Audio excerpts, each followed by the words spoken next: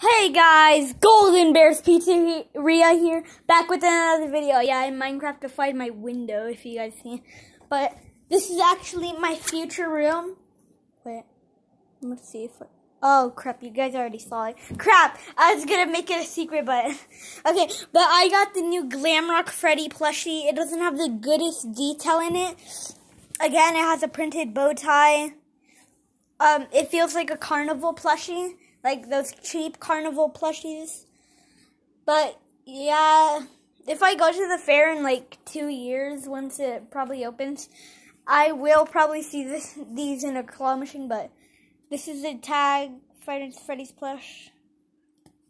Yeah, I spent eighteen dollars on this baby. But I'm mad that I spent eighteen dollars on complete trash. So you already know what we're gonna do with this. Do I even have a trash can?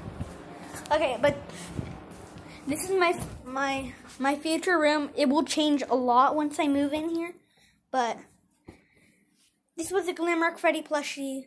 Yeah, but he has like I'm gonna say orange right here, but yeah, I don't know why they did that.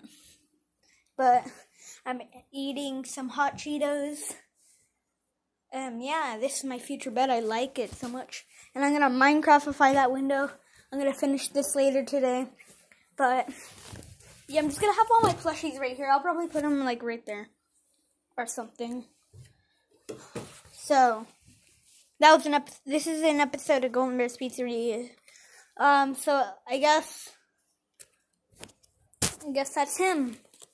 Oh, and I got him at GameStop. There's also Montgomery Gator and Glamrock Chica action figures, but I didn't want them. Because this was the last plushie left. So yeah, I got him. So that's end of the Golden Bears Pizzeria video.